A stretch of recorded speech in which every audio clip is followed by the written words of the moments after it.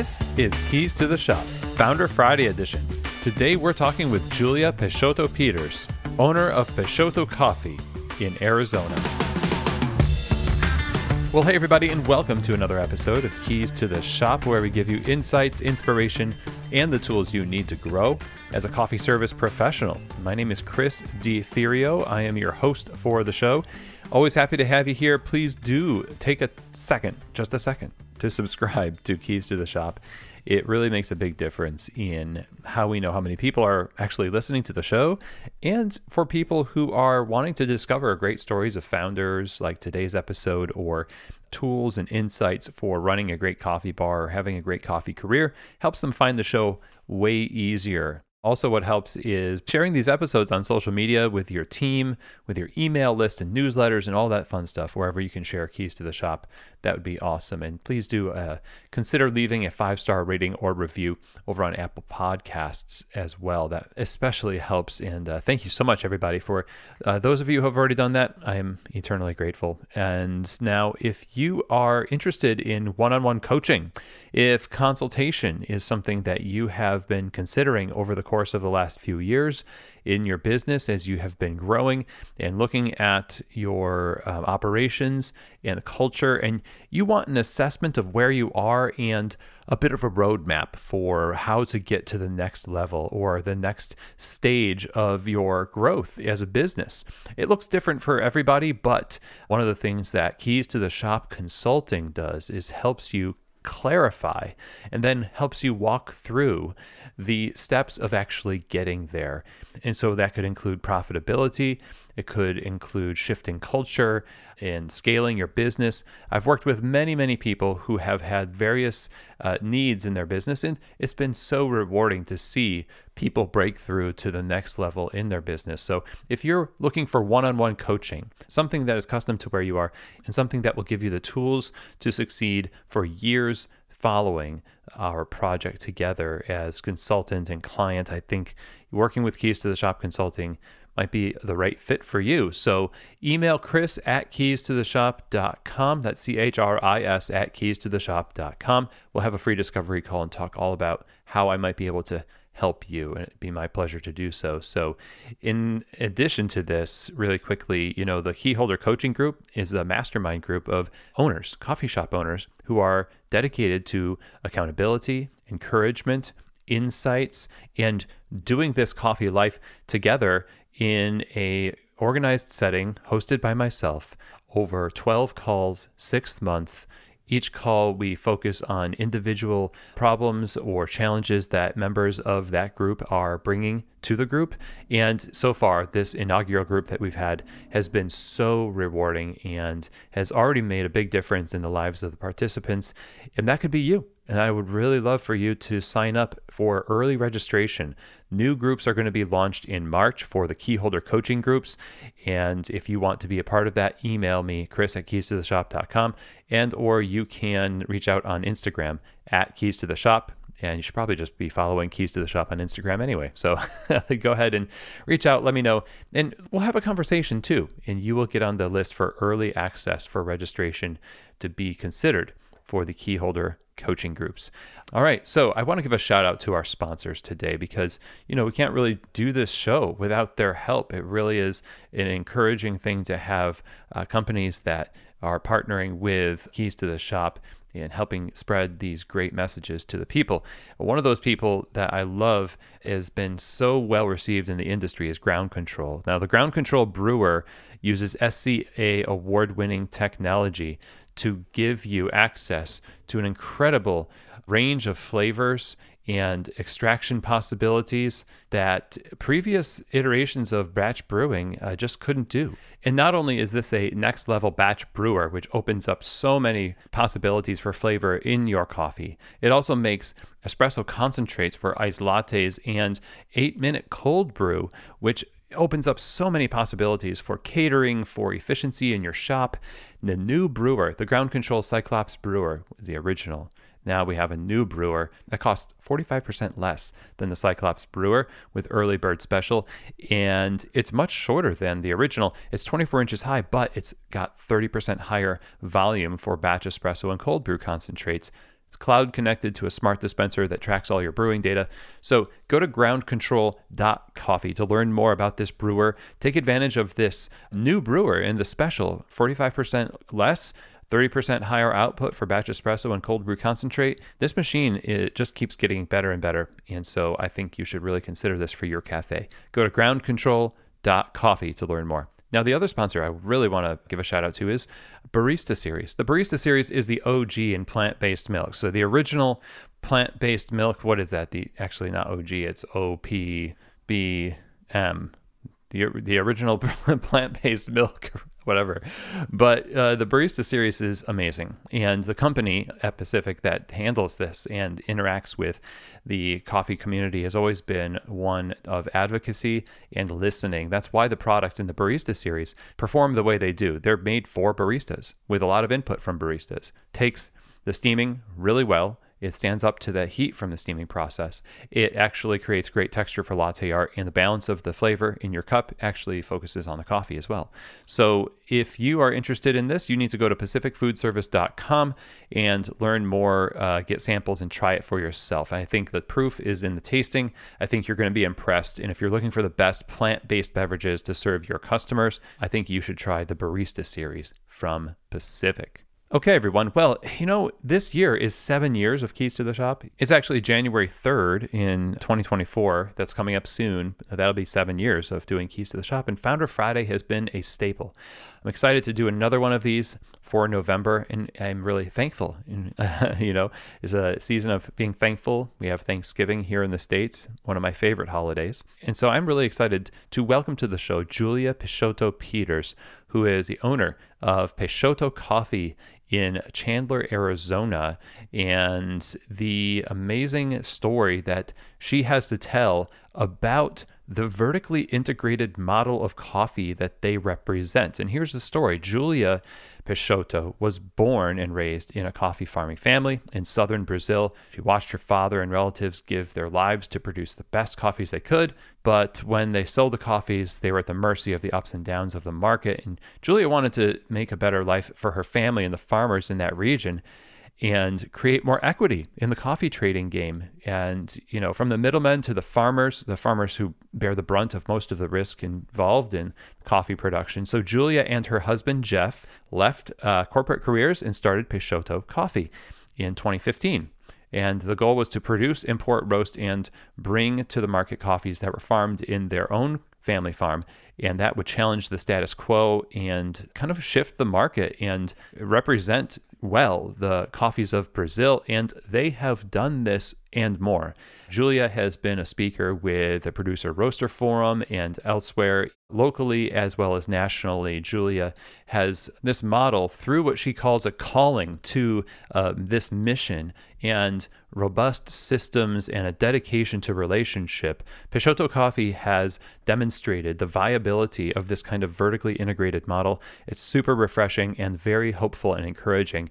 And we get to hear the story today about the founding and evolution of this brand, the model, what goes into making it successful, and words of encouragement to those out there in the coffee community who want to encourage and maybe even take on a model like this in their business.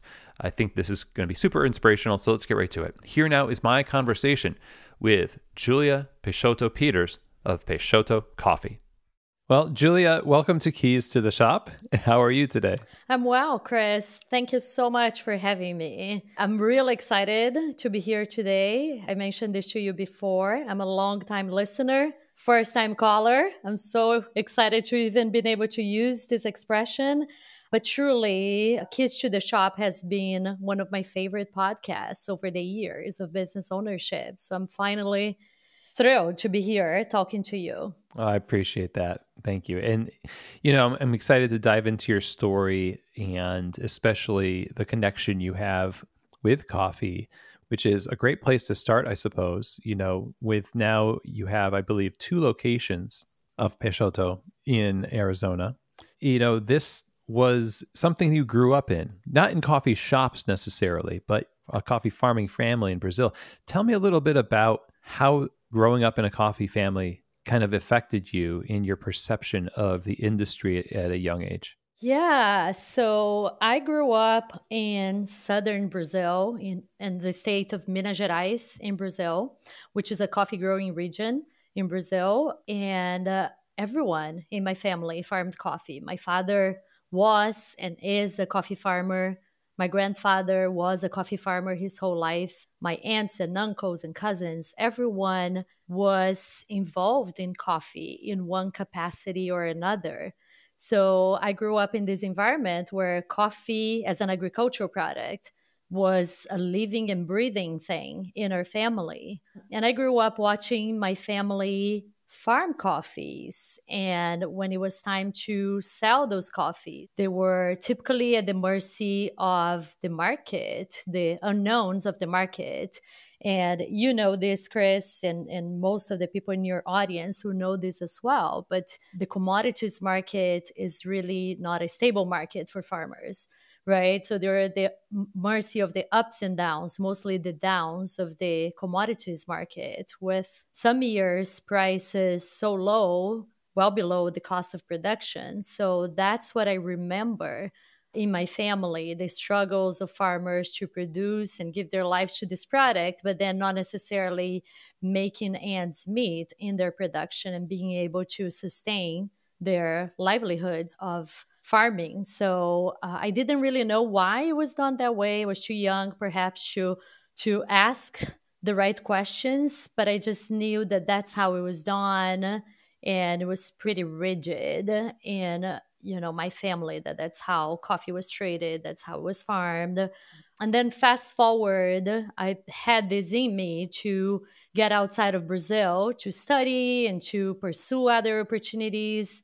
Growing up in Brazil in the early 80s uh, brazil was a country where there's a lot of instability it was a military dictatorship so for my family and my parents especially it was really important that i and my sisters pursued more stable careers more professional careers than relying in coffee so not only i didn't see this coming that i would be eventually involved in coffee i was not exactly encouraged to follow the family tradition of coffee farming. So, with that, I took on a different path. I went to law school in Brazil.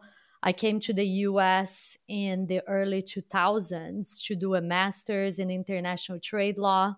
Then I got a job at a really large company, one of the largest companies in the world, where I worked as a lawyer for 13 years. I met my husband, who also had a professional career. He was an aerospace engineer. Uh, we had kids. So we had a, a good life that I didn't have to run away from.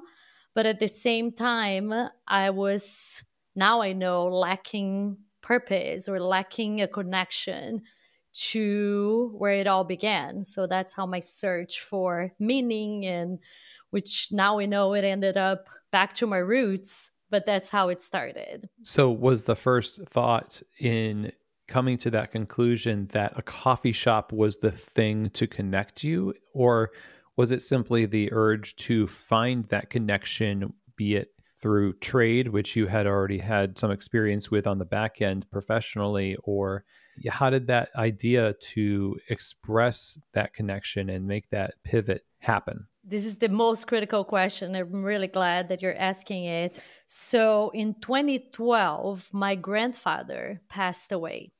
And with the passing of my grandfather, I came to realize at that point, my father was almost 70 years old, still farming coffee, still trading coffee the same way he did when I was a child in Brazil in the commodities market. I came to realize that my father was the last one of his siblings still farming coffee. And with the passing of my grandfather, I felt what I describe as a higher calling mm-hmm. to do something with my family's coffee. So it didn't come to me as a coffee shop or even as roasted coffee because all I knew was the farming side, the agricultural side of coffee that ran in my family. So I just knew I had to do something to one, keep my family's legacy in coffee farming beyond the life of my parents alive, and two, to make it better for my family and for other farmers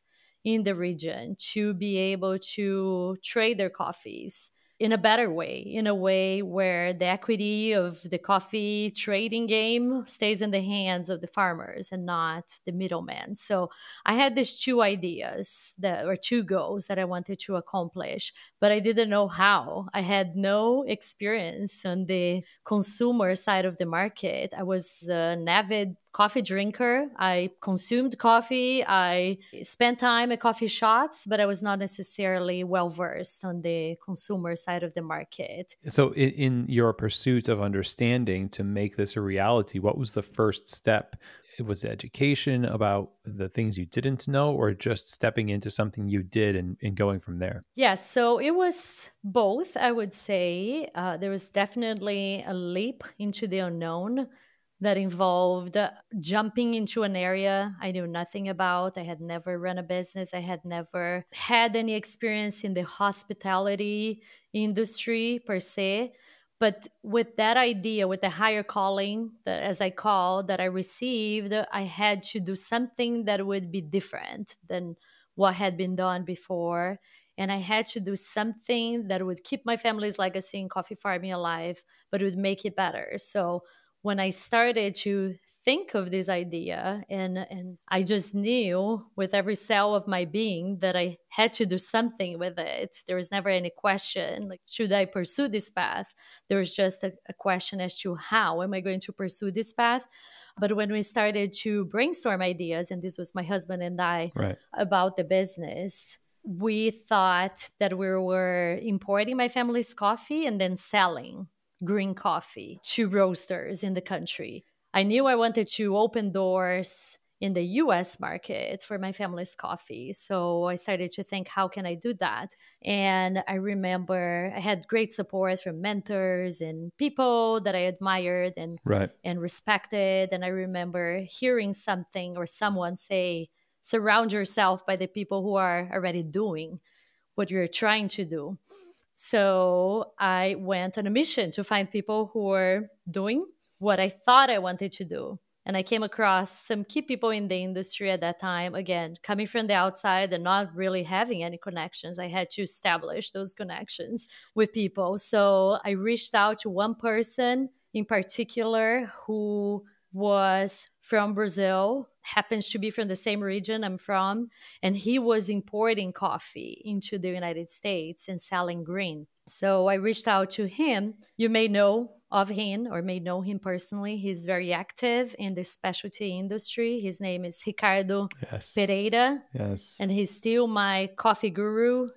That's awesome. He's been on the show. Yeah. Yeah. So so Ricardo was instrumental on our path. And the way it all worked out was it's actually very interesting because I reached out to him and he was about to go to Brazil a few days after we got in touch we had back then was a skype call and uh, he was on his way to brazil to visit a farmer who was our neighbor. You know of all regions in brazil of all coffee producers in brazil he was scheduled to visit our neighboring farm just a few days later after we spoke. So that was in a way one of those moments that I felt like I must be doing the right thing, you know, if this is showing up on my path. Yeah, it's a real confirmation. Mm-hmm. So so he did. He went to the farm, he met my parents before we ever met in person.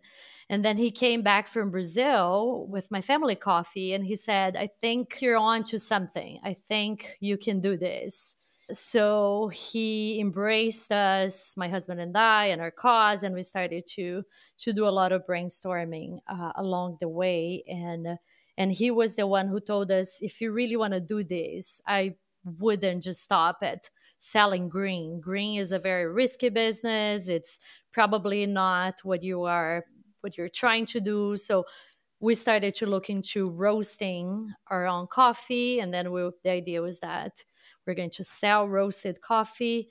But at some point in this evolution, and it was there was a lot of late nights, a lot of pencil to paper, a lot of business planning. At some point on, on this journey, we decided if I truly want to keep my family's legacy alive, then I need to go all the way to the end consumer, to the coffee shop, and put my family's coffee in the cup of coffee drinkers as Peixoto coffee. So they need to experience the coffee. It's something that you need to be highly involved with because if you were in doing if you're just doing green coffee, you're not really in charge of the whole experience. You know, you give it off to somebody else and you know, that's fine. That's that's helpful, but what is it that getting the coffee into people's hands and having a little bit more of a, a say in the experience of the final product how does that really bring it home to create value and achieve the goals that you had for more equity and more ownership in the supply chain? Yeah, so the model that we chose to pursue is is one where it didn't happen overnight obviously it was a it was a long process of putting pieces together and chipping away things that were not serving our model or or this vision that we had for Peixoto Coffee. But the idea is that we eliminate steps in the process, right? So traditionally, the supply chain, the coffee supply chain, is long and the coffee moves from hand to hand to hand and it's very horizontal right where the coffee is moving on this horizontal supply chain through the players in the industry. So the idea was that we needed to shrink the supply chain by eliminating unnecessary steps uh, along the way for us. And then we also wanted to flip the supply chain over and achieve what we call today a vertical integration or vertically integrated supply chain from the farm to the end consumer. And what that means is that Peixoto as a family, as a business. We farm, we export, we import our own coffees, we roast, and we put it in the hands of end consumers. So the value of this supply chain comes in the sense of we're freeing resources along the way. And I'm talking about financial resources, right? So I'm freeing financial resources along the supply chain and I'm putting those freed up resources in the hands of farmers, whether it's my family or, or other farmers that we buy coffees from, and in the hands of end consumers by bringing a coffee that is direct, that is sustainable, that is transparent, right? Every coffee that we release, we know exactly where it came from. I know the lot at our farm where the coffee was harvested, how many days it spent on drying, what processes we apply to those coffees. So there's a lot of things that make those coffees special and specialty, right? A lot of knowledge that is carried over with the coffee and quality as well, because again like we have a lot of participation in how these coffees are farmed and, and processed and transported and then we translate that into a customer experience that is unique. That hadn't been done at least extensively before we started where customers feel like they are part of this journey of coffees from their farm to the coffee shop to their cups and for a competitive price right? Because we're freeing up resources along the way and putting a, a more direct, sustainable quality coffee in the hands, in the cups of end consumers. Yeah. Okay, so there's two things. One, I would say is your point at which you started to see the benefit return to the farm in this endeavor. And now, I mean, it's almost 10 years of doing this, right? That's right. Yeah. One year away. And in the first couple of years, I imagine there's a lot of trial and error, finessing the system, making sure that the tangible benefit is there for the growers, the farmers, right? How did you start to evolve that? And what things did you need to pivot in this model in order to make sure that that was going to happen over the long haul? There has been a lot of pivots along the way, as I'm sure you can understand. Business or businesses in general don't come with a manual. Ours certainly didn't come with one. We were pioneering a lot of these things through trials and errors, and that's certainly the case all the way through today. We're constantly having to reinvent ourselves and create new things from the ground up. So that has been a constant in our journey since its inception in 2015. So we started with the idea that we would be vertically integrated. It didn't start like that from the beginning. We had to rely, still rely on exporters and importers to get our coffees from Brazil to here. We were small. Year one, 2015, we imported, we picked a number. We we're 100 bags sounds about right so we're we chose to import 100 bags of coffee that's that's nothing for these big ship lines and for big importers right right so we were dealing with very small volumes small volumes that are not necessarily you know what some of these big players want to be doing. So we had to pave that path of like starting really small and then growing our way up to where we are today and the volumes that we do today. So we couldn't achieve that vertical integration right off the inception of the business. So it took us about 3 years to get there where in, i think it was 2018 when we became importers of record and we we took control of the entire supply chain. So so yes a lot of trials and errors and i think those very things made us stronger and uh, you know more resilient in what we're doing because in business in general you're going to need that especially when you're doing things for the first time in an industry. So, yeah, it's all a part of the growth process. And I always like to look back and think that, in a way, a lot of coffee businesses in the United States they start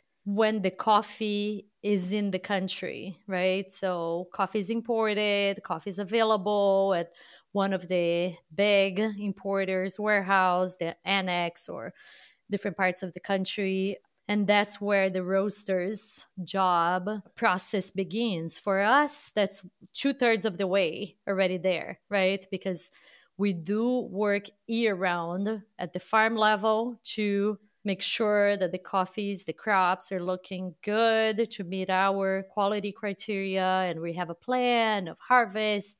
We go every year. We get our hands dirty at the farm where we're you know processing coffees during the harvest season. And then we wait until those lots are ready. We get samples of those lots we cup and and decide which lots we want to bring in.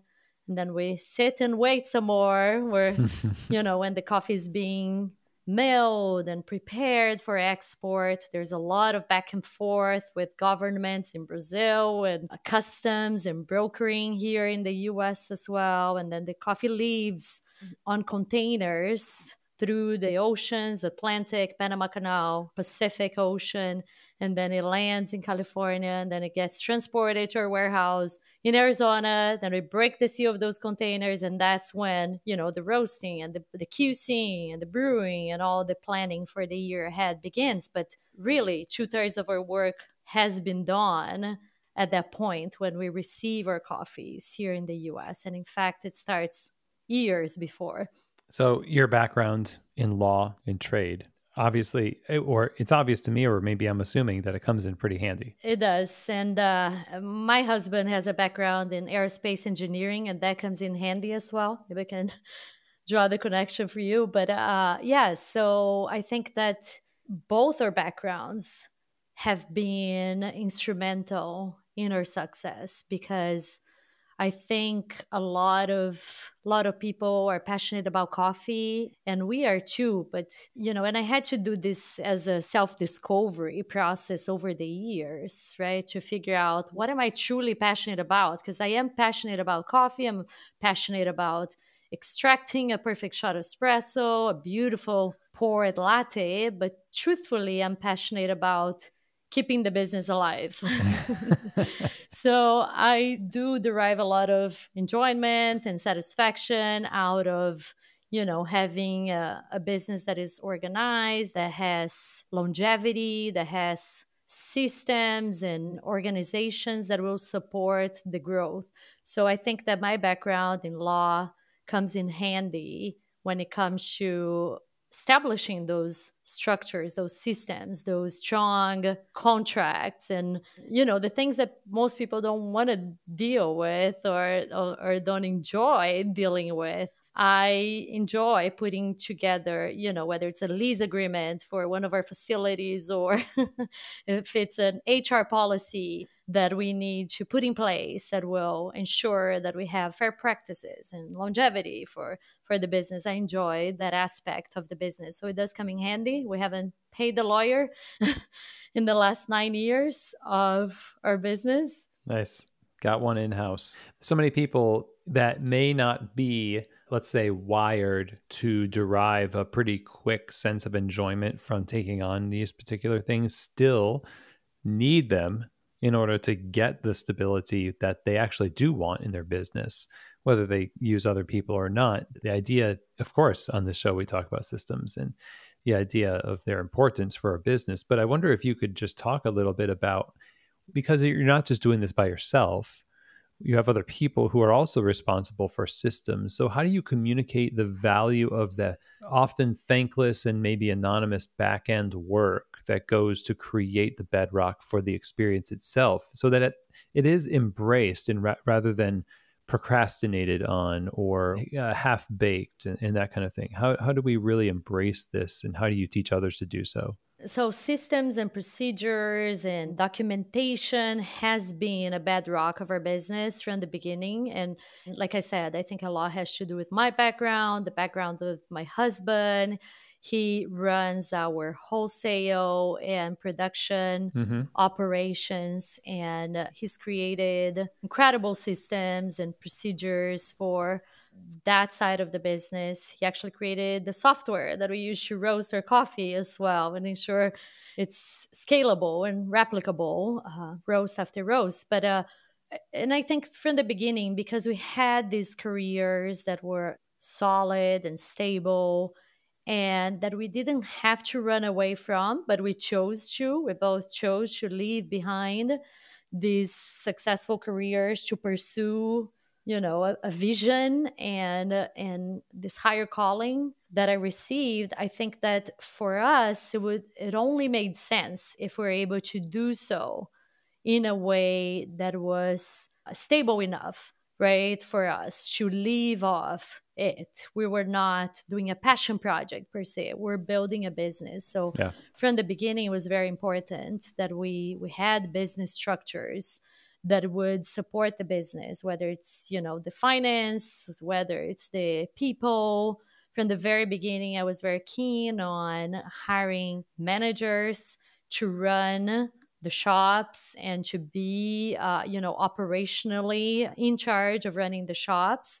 So yeah so we wanted to build a business. We just didn't want to just build a passion project. We wanted to create something that would be sustainable and that would have longevity in the long run. So we've been very keen from the beginning to have policies to have handbooks to have SOPs in place that would sustain growth and also would sustain our freedom that we wanted to create with the business. We wanted to the business to and, and my husband is always very vocal on these with every endeavor which we embark on, whether it's you know creating a production facility or cold brewing in large scale or whether it's supporting wholesale customers supporting the coffee shops he's always of this idea that he's putting himself out of a job, right? So he's creating a system and an organization that can run whether he's there or not. Yeah. So I learned a lot of that from him in terms of thinking that today I have health, I'm here, and but what if I'm not, right? And from year one, when we created the business, we also it, it's part of our business case, it's part of our business plan that we would remove ourselves during the summer time, the summer season, because that's harvest season in Brazil. And we wanted to be there at the farm oh, yeah. with my family, helping them harvest and process the coffees, which we would later on import. So, this has been a part of our vision for the business that we would not be physically present at the business for about a month or so during the harvest season. So, yes, we created this structure and organization, systems, procedures that would support that vision. Yeah. So I just keep thinking about this contrast between when you mentioned the passion project and there's almost an inherent flippancy with the idea that we're just going to start a coffee bar and we're just going to do this see if it works you know but knowing the background that you have and the hard slog that it is to be a farmer in a farming community there is no flippancy in that there's no this is just a passion project this is a life thing. And it feels so fitting, whether you are connected directly to the farm or not, if you're just an entrepreneur that is serving coffee to people, it feels like you kind of owe it to everyone else who's working really hard to make this more than a passion project, to make it like a, a real serious business that will, I, suppose, in the result of all of your systems and the seriousness with which you treat your business, reap the reward of enjoying it more because you're not worried as much as you would be if you didn't have systems. You're absolutely right. And I love the way you you put it. It is kind of a like my call of duty, right? To make this work for the farmers, for my family, for all the employees and the livelihoods that we support, right? I feel like I wouldn't be making justice to the vision the calling that I had and uh, my ability to support the model if I was doing in a scale that was too small or, or not sustainable in the long run. So I see my duty as, you know, creating a business that can be sustainable. And sustainability means more than, than environmental sustainability. It means sustaining livelihoods, sustaining the living of these people who rely on coffee to carry on. So so yes, I take that as my responsibility now that I've started the business to keep it alive, but keep it alive and well. yeah, yeah. beyond my parents' life, beyond my life and into future generations.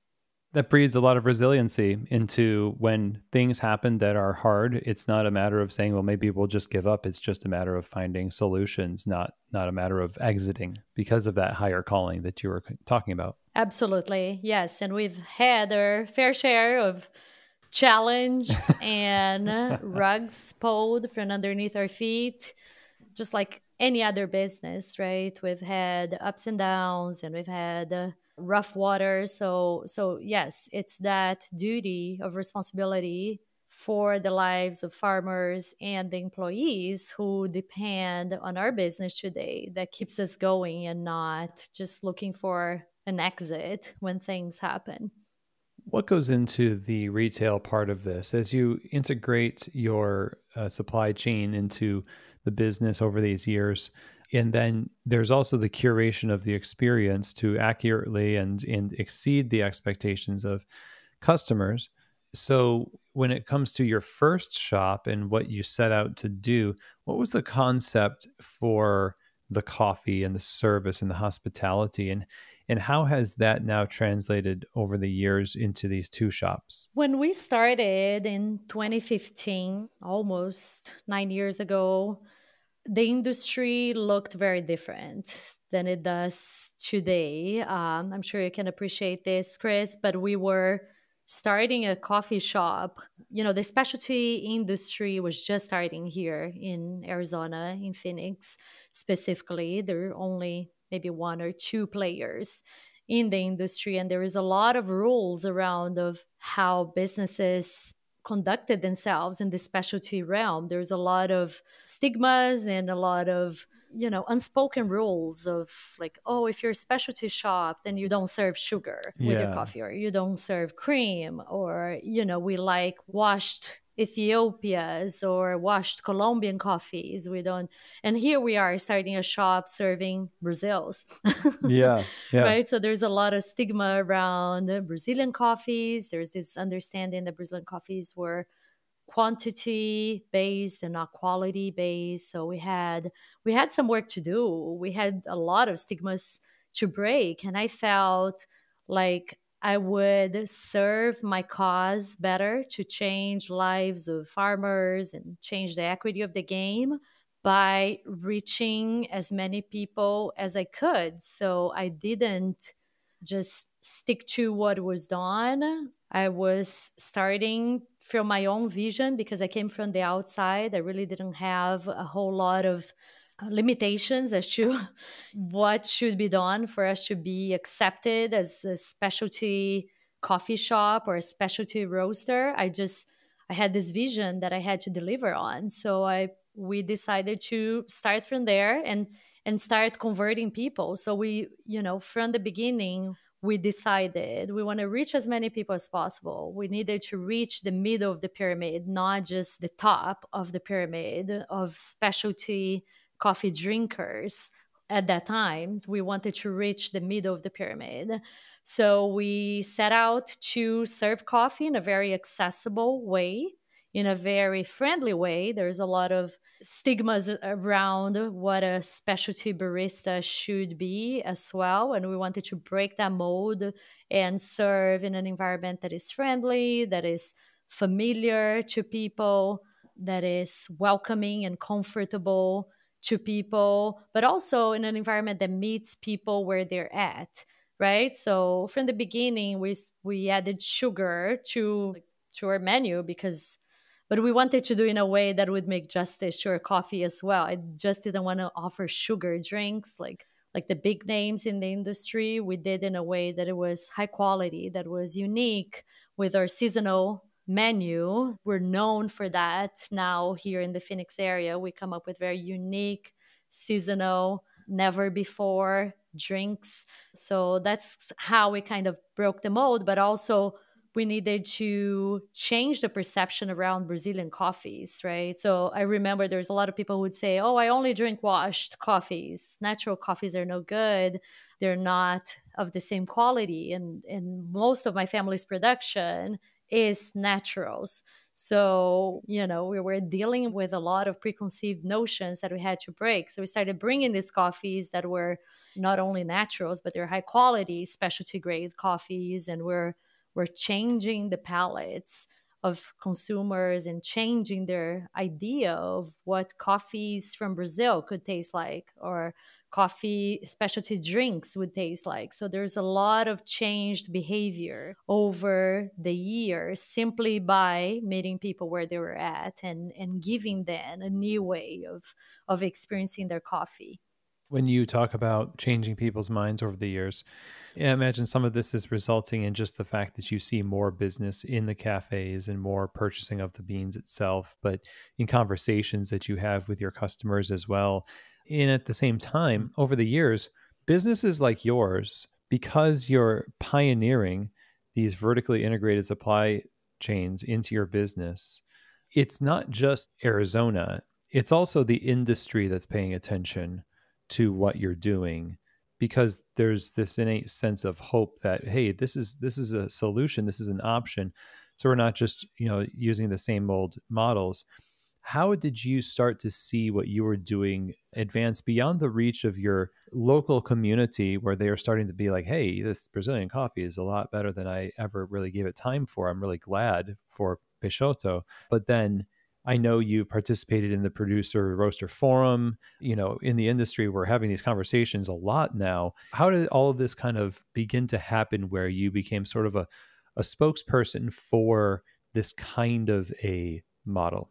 I think that the moment I realized that Peixoto had taken a life of its own and a more national direction than what I expected it to be. Of course, when when I started the business, I wanted it to be successful and impactful mostly, but I I just didn't know how impactful it could be or how well received it could be by the community.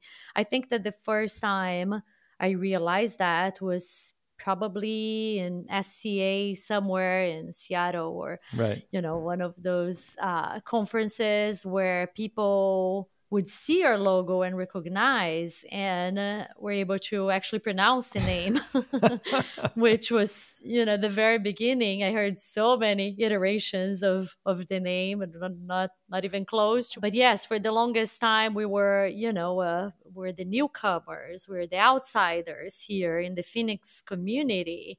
At some point, and it was very rapid when this happened, I would say maybe 2016, 17, we started to see some recognition of the brand, of the name, and recognition for the impact that we're having, right? By having a, a different business model. So, yes, that is something I'm very grateful for. I love being involved in the community, especially on the producer, the farming side of things. I it makes my my soul sing when I am at the farm level with farmers. When I was in Colombia recently, visiting farms, I just I felt this is where we can have the biggest impact, right? Because a lot of these farmers are are are still at the mercy of dealing with big buyers in country and not having access to the consumer market. So when you bring the story of of connection, of achieving vertical integration, it brings then hope that they can too have some exposure to the buying market directly and have a connection with that side of the industry. So that's a source of, of joy for me and a critical aspect of, of my business as well. I need to be able to enjoy, right? the process. So this brings me a lot of it. Well, if you're talking about uh, working with other countries, uh, besides Brazil, what kinds of values and principles and systems did you develop in relationship to your own farms that you then apply to the sourcing of coffees from other origins besides Brazil that you've found successful? So the majority of the coffees we serve at our coffee shops come from my family farm. I would say about 80% mm hmm of the coffees we serve come from my family farm and neighboring farmers as well. So we also buy from neighboring farmers in Brazil, right next to where we are. So uh, the, the other 20% are coffees that we source directly from small producers with whom we have a relationship. So we do apply those same principles of directedness, of transparency, sustainability to the coffees that we bring from other countries. So, for instance, one of the outcomes of this trip that I had to Colombia was that I've developed a relationship with these farmers there, and we're bringing their coffees here. We'll be able to offer those coffees next year. So, historically, it hasn't been always myself doing that work. I've had very critical people on our path who have invested a lot of time and resources in developing those relationships with farmers, whether it's in Costa Rica, in Colombia, in Guatemala, and we've been buying their coffees year after year. But I'm trying to free up some of my time so that I can do that going forward since it's a it's an area that I, one I have an easy time because I speak the language I speak Spanish I can I'm also from Latin America I can connect with ends and and I enjoy dealing with farmers in various countries. So this is something that I want to bring back to my realm of operations. But uh one of the things that uh, we've been doing also for quite a few years now is when we buy coffees from other producers, we give them the same level of visibility as we do to my family. So rather than giving names to coffees, for instance, people come up with all sorts of cute labels and cute names for coffees. We believe in honoring the farmer and the farm. So we always put the farmer's name on our coffee labels. So it, whether it's right now we have Stephen Mora, we have Los Andes from Guatemala with the Hazard family. So we always honor not not just the origin as a single origin coffee, but also the farm and the farmer where it comes from, and that you know gives then that connection which we sought to offer to my family. I wanted Peixoto to be sold as Peixoto coffee. I want their coffee to be sold as their own coffee and not as something else. Mm-hmm. Yeah, that makes sense. In that principle of relationship is so strong in, in, in, that there is a lot of responsibility in relationship when you are truly seeking the good of those who you are representing and you have a relationship with. It means you're going to be above board in your operations, you're dedicated to refining your process and making sure having due diligence to make sure this is a beneficial thing for them and you know again back to the idea that your business is going to be around to help support them which is a, a, principle of longevity and sustainability, as you kind of uh, hinted at earlier. Like the idea of sustainability usually exists within the uh, ecological sphere, which is fine, except that we have so much turnover of stores and brands where these relationships become severed because the coffee shop or the roastery just goes out of business. So it feels like the you know principles that you're applying are the types of things that could really revolutionize the kind of relationships that we really want to have with farmers, which is all good in fine and well intentioned. But um, I'm I'm glad to see such a holistic uh, approach to both ends of this equation. You recently opened a second location. I think it was in 2022. And so it is always fascinating to me to, to hear about how things go when you go from one location to two locations. I know you have the systems, but surely there's some some challenges in doing the expansion thing with a concept like yours. So how did that go? How did it come about and and what were some of the things that you needed to adjust in the process of expanding Peixoto? Certainly, yes. So going from one location and and the second location was in the works for about 4 or 5 years. Because when we started, it was pre-COVID and then came COVID, so a lot of things got delayed, paused for a few years really? So so the second location was a dream in the making for a really long time. But we went from one small shop and our, our first shop in chandler is you know physically small but we we do move some volumes there. It's a high volume coffee shop. We have people pouring in and out all day long so we've always operated as a high volume coffee shop. But we moved from a very small and close knit organization to, you know, we doubled our staff last year to open our new shop. Our new shop in a up and coming location, a lot of residential developments around it. So we knew it would be even higher volumes than our first one, and it has been from the get go. So we had to double our staff, ensure that we would do so, we would be able to serve higher volumes in a way that would keep our quality intact and would scale our services as well. So there was a lot of planning for that moment. And again, I'm I'm grateful that you know it took longer than expected to actually open the shop because it gave us a lot of time to to develop those systems to implement procedures and to find the right people that would that would embark on this journey of growing the business and growing in a way where we were maintaining our standards of quality and service. So challenge yes there's always whether you stay small or whether you grow there are always challenges but uh, i honestly feel like everything is workable. There's no challenge that is unsurmountable. It's just a matter of breaking it in small pieces and dealing with those parts along the way. So whether it's uh, assembling a team to open a new shop and that comes with a suite of challenges in ensuring everyone is in alignment with the vision, in alignment with with the goals for the business, for growth, whether it's, you know, creating new products, whether it's, you know, going through a pandemic, there's challenges are comprised of very small parts. So if you break these challenges in small parts and address them individually, I think you know that is always doable. And there's an author that uh, that i love. Her name is marie forleo. You may want to look into her and perhaps uh, invite her for your podcast in the future.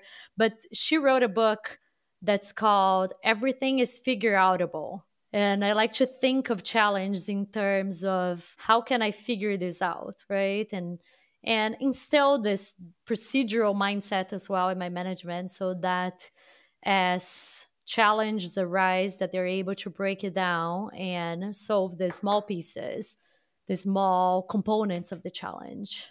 That's great. You are hitting on something I think like the empowering people to have a perspective that's a hopeful one towards inevitable challenges and choosing the right people to be with you in the expression of retail in, is such a critical component. Similar, maybe in fact, to the you know choosing of you know what happens on the the raw product side of things and partnering with farmers. If I have a crew of people who is maybe not the right fit for for what I'm doing, then every all the work is just going to not come to fruition the way that I want it to. And so, for something like this, you really have to be choosy about who's going to work at Peixoto and what is it that is the primary characteristic or top values that you look for in an individual who can really represent the brand well and all that it is trying to accomplish? Ooh, there's a lot, obviously. but if I, if I had to distill it down to a couple of traits or, or skill sets that we look for. And we've had a lot of wonderful people come and go through our journey. And I believe that everyone has their path and, you know, they come. We always want them to leave better people than when they first came to Peixoto Coffee. But one of the things that I always look for in uh, those people who are going to join us on this journey is resourcefulness.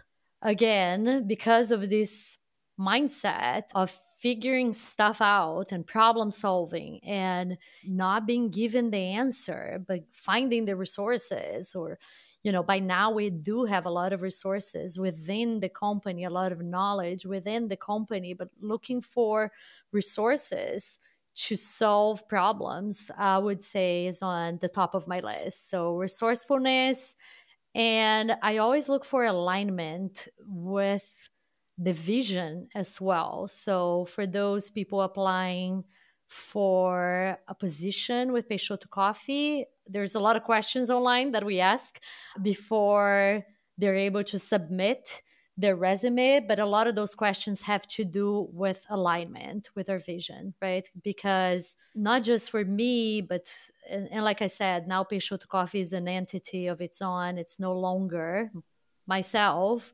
just like parenting, right? To raise your kids and then they become individuals. They're yeah. no longer yeah. an expression of the parent. So it's the same with Peixoto. It has its own individuality and its own path to follow. So, but because Peixoto is infused with this very clear vision, and I think that that has been one of my biggest lessons in business is to there there will be a lot of distractions there will be a lot of detours along the way but it's uh, my job as CEO of the company is to bring the company to the vision, right? Is to make sure that we are at all times, whether we're cleaning the shop or whether we're putting out a new product or we're establishing a new relationship with a farmer, my job is to make sure it happens in alignment with the vision.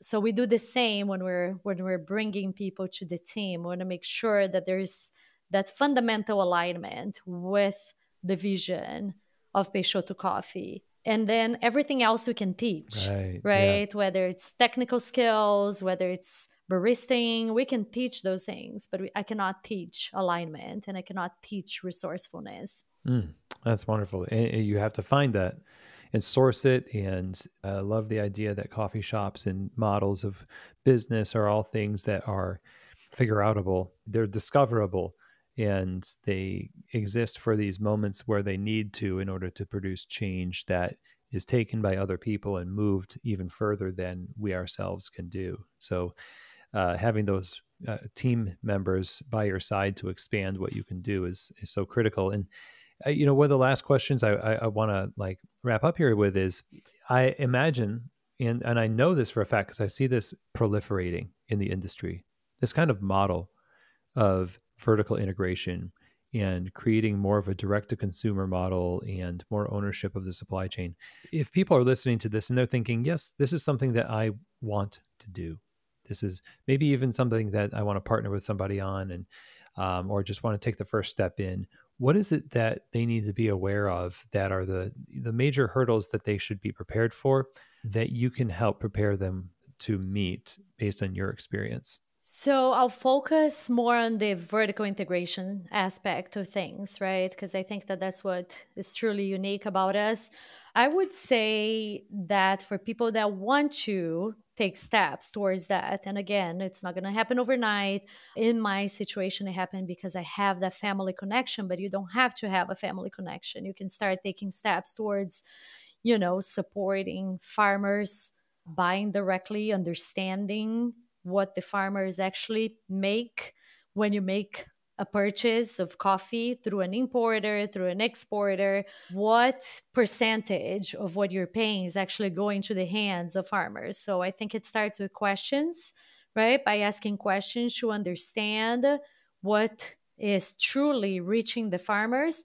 But farmers need predictability and they need consistency, right? So a lot of people buy coffees when they when the coffees are tasting amazing. It's a 90 point coffee, and uh, I want to have this coffee uh, to be served at my coffee shop. But what farmers truly need, farmers are not going to be able to. Some some are able to. Those very small boutique farmers are able to consistently produce competition grade coffee, 90 plus point coffees, but not all farmers are able to do that. So those farmers, and I think that that's the bulk of farmers, it's not the top of the pyramid of farmers. The bulk of farmers need consistency and predictability year after year, not just when their coffees are drinking high 80s, 90 points, but also when they have a hard year and and they all do right? So last year was a really hard year for farmers in brazil. They they had drought and they had frost and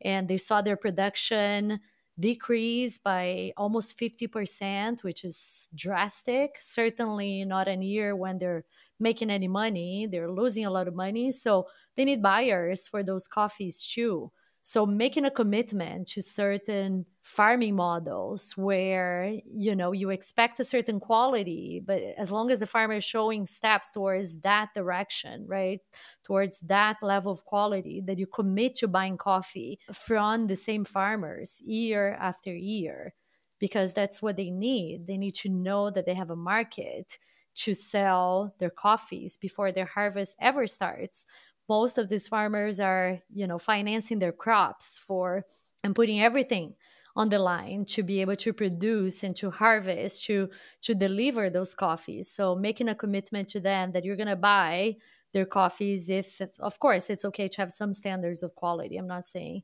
just ditch every standard of quality but committing to the longevity of the relationship, I would say is very important for this model to be sustainable and to have longevity. Yeah, that's wonderful. And that is, uh, again, one of those things that you figure out, right?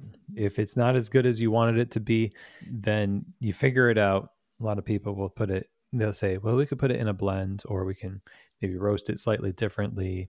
There's a lot of ways to do it. And certainly, we want our local communities to give us grace in the times where our businesses may wane in our quality or our uh, consistency. If, eh, if, COVID was any testament to the fact that we wanted people to give us a chance when we are having a off year, it's exactly the same as what you're describing with farmers. Exactly. It's a it's it's a marriage through thick and thin, right? It's That's right. it's it's being there and being able to support the ups and downs of farming. And uh, you know if there's one thing that is certain in farming is that there will be good years and not so good years. So just you know making a commitment towards improvement but in the long run with farmers and working with them. Wonderful.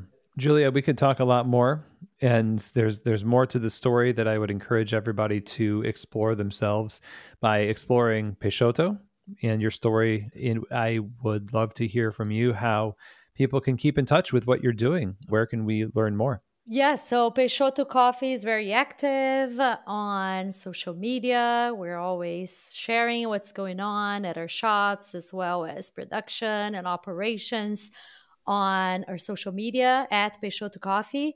We have a website where we ship things all over the US. We ship coffees all over the US for those of you that want to try. But uh, that's how we can stay in touch. Would love to uh, stay in touch with you as well, Chris. I'm very grateful for this opportunity to share my story and my vision with your audience, which again, I'm a part of this audience as well. Have been listening for for many years. I can't remember when you started, but I want to say I've been listening to episodes since 2018, 2019. Around 2017 somewhere. we started, yeah. 2017 yeah and and and again i'm really appreciative of what you bring to the community because as an owner starting a business in coffee it, I've said this before it doesn't come with a manual. So having a podcast such as yours where you can find you know relatable situation stories actionable change to implement within our business is is truly invaluable. So i appreciate what you do to the industry. I appreciate you, those kind words. That's really awesome. I'm so glad to have you as one of the uh, audience members of the show for sure. And now as a guest. So uh, thank you again julia. It was wonderful. Thank you chris well, everybody, I hope that you really enjoyed that conversation. I'm so thankful. Thank you so much to Julia Peixoto Peters for being on our show today. And thank you for being a listener to the show. It's a huge honor to have somebody like you in the uh, listening audience. It's awesome. So we really appreciate your insights and the example you continue to set. You know, this conversation really inspired me with the idea that our dedication to something that is beyond the um, challenges that come with projects is what makes us able to weather those storms. That is relationship and dedication to having a long term commitment to those you are partnering with, whether that's in the cafe or that is with your farming partners. It is a great point to really dwell on as a result of this conversation. There's many more things that Julia shared that we should reflect on but again, I'm really thankful to have had Julia on the show. And if you're interested in learning more about Peixoto Coffee, you can just go to peixotocoffee.com. And that is where you can find all of their locations in Arizona, as well as buy their coffee online. You can find Peixoto Coffee on Instagram. That is just at Peixoto Coffee. That's P E I X O T O Coffee. And I hope that you follow them and get some coffee sent your way. So, if you have any questions, comments, or feedback for me about today's episode, feel free to send me an email, chris at keystotheshop.com. That's where you can also inquire about these keyholder coaching groups coming up and launching again in March, as well as if you want to explore one on one consultation and coaching for yourself, your team, and your business, chris at keystotheshop.com. And with that, that is the end of our episode today, everybody. I really hope that you enjoyed it. Have an amazing weekend. And as always, I hope that this episode has truly given you keys to the shop.